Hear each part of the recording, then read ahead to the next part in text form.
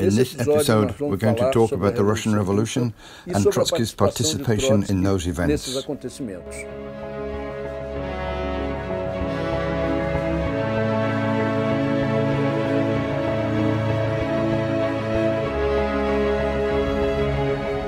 This series will have new episodes every week.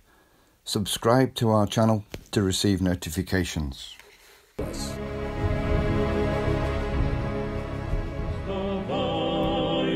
проклятием заклейменный, весь мир голодных и рабов. Кипит наш разум. The Russian Revolution was the most important event in contemporary history. It was the first victorious socialist and workers' revolution which succeeded in consolidating its power, expropriating the bourgeoisie, and building the first workers' state in history. Even the degeneration of the Soviet state through the action of Stalinism and the restoration of capitalism that happened recently did not extinguish the enormous importance of that feat.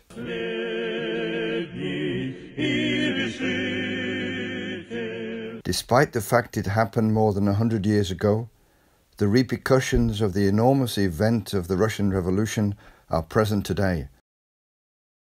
Just look at the obsession of the far right in raising the spectre of communism. Propus nessa semana o projeto de lei 5358 para proibir não só a foice e o martelo, como também a apologia ao comunismo. The big bourgeoisie media do the same. The concern of the enemies of the revolution shows how great is the importance of that event. Lenin was the outstanding leader of the Russian Revolution, and after him was Trotsky. The history of Trotsky's political life is intimately linked to the history of the revolution. In 1905, Trotsky chaired the first Soviet, that is, the Council of Workers' Deputies, which was formed in Petrograd. Twelve years later, in the 1917 revolution, he returned as chairperson of the same Soviet and in the same city. But Trotsky was not only a great leader of the Russian Revolution, he was also the leading historian of that great event. Here we have his major work on the revolution History of the Russian Revolution, which is a fantastic book. It is the only book on the history of a revolution that was written by one of its main protagonists. In the preface to the book, Trotsky sets out his views on the main features of the revolution.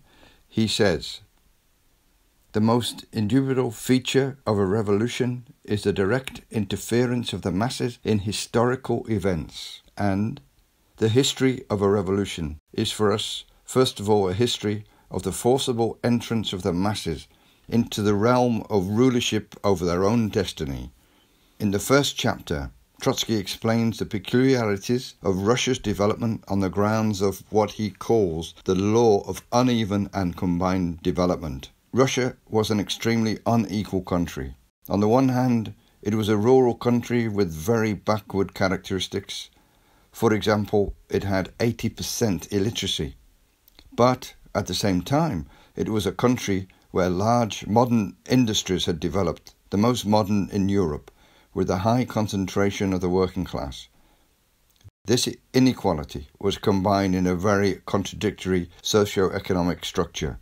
At the same time, the country was ruled by a monarchical dictatorship, the Tsars of the Romanov family, who had absolute power and ruled in an absolutist manner.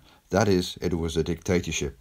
In 1905, these contradictions exploded after Russia's defeat in the Russian Japanese War.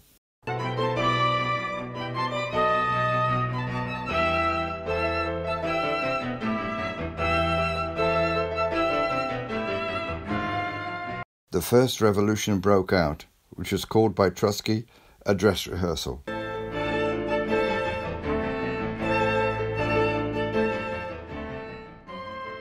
The revolutionary process began when the Tsar ordered a peaceful demonstration to be fired upon and more than a thousand workers were killed during that day. It was called Bloody Sunday.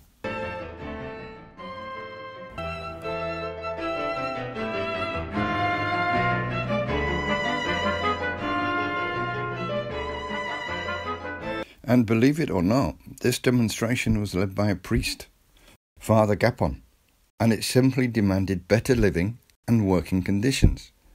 For that alone, more than a thousand workers lost their lives. After Bloody Sunday, the workers' revolt was immense, and hundreds of strikes broke out over several months. In Petrograd, councils of workers' representatives that arose that tried to coordinate these strikes and organize them. But these same councils gradually took on the tasks of a parallel power. Trotsky was the first president of this Soviet, and he was only 25 years old. In December 1905, an insurrection of the Moscow workers broke out. This insurrection was again drowned in blood by Tsarist troops. More than a thousand workers were killed again. The revolution was pushed back, affecting the Bolshevik Party. Lenin had been, since the turn of the century, preparing to build a democratically centralized party that could lead the working class in the revolution, a party capable of resisting repression and at the same time building itself deeply rooted in the workers' movement. Lenin continued to organize the party during the years of retreat from 1905 to 1912. Trotsky's biggest mistake was not seeing the importance of the Revolutionary Party. He took an equidistant position from the Mensheviks and Bolsheviks during all those years until 1917. Trotsky made a self criticism of all his previous period of centrism and finally joined the Bolshevik Party, together with the group he led, which was the Inter-District Group. The outbreak of World War I in 1914 raised tensions within Russian society to an extreme. Russia's participation in the war alongside Britain and France led to the collapse of society, the state, the Russian army, and even the Tsarist regime. The Russian army suffered 11 million casualties, both dead and wounded. The fields ceased to be cultivated, and hunger reached the cities. A celebration of Working Women's Day led to a series of strikes and demonstrations that lasted six days. After that, the Tsar was forced to resign. It was the democratic revolution that overthrew this dictatorship. After the fall of the Tsar, the workers reorganized the Soviets. However, these Soviets at first were led by the reformist left, Mensheviks and revolutionary socialists. And these organizations had the conception of handing over power to a coalition of the bourgeoisie with remnants of the old aristocracy. The first provisional government was formed, headed by a prince, Prince Lvov, and a broad coalition that included bourgeois parties such as the Cadets and also some social democratic opportunist leaders such as Kerensky. From then on, in the following eight months until the October Revolution, there were several governments of coalition of bourgeois parties with reformist parties, as the Mensheviks and the Revolutionary Socialists. The Mensheviks justified this decision to support or participate in governments of class conciliation of the bourgeoisie and the workers' organizations by saying that the revolution should stop in its democratic stage and it was the bourgeoisie who should rule. Even the Bolsheviks fell into this position and supported the provisional government during the first two months of the revolution. Lenin arrives in April and completely changes the policy of the Bolshevik Party. He writes his famous April thesis, in which he states that the Bolsheviks must on no account support the provisional government and that they must begin to insist that the Soviets take power into its own hands. The various provisional governments which succeeded one another in the course of those eight months did not solve a single one of the problems of the masses. They didn't stop the war. On the contrary, yielding to pressure from England and France, they tried to maintain an offensive of the Russian army. They didn't distribute land to the peasants and provoked great dissatisfaction in the countryside. they don't solve the problem of the oppressed nationalities within the Russian state. Nor did they convene the Constituent Assembly, which was a demand of the whole population. After all, the contradictions aggravated more and more. Hunger threatens the entire working class and the population of the cities.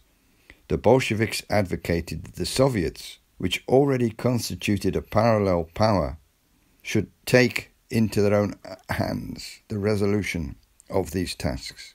That is why they raised the famous slogan, Bread, Peace and Land, and combined it with the demand for all power to the Soviets. In September, the Bolsheviks won a majority of representatives in the Petrograd Soviet and elected Trotsky its chairman.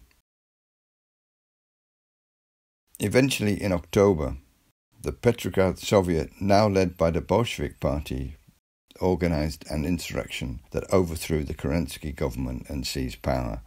The next day, this action was ratified by the All Russian Congress of Soviets.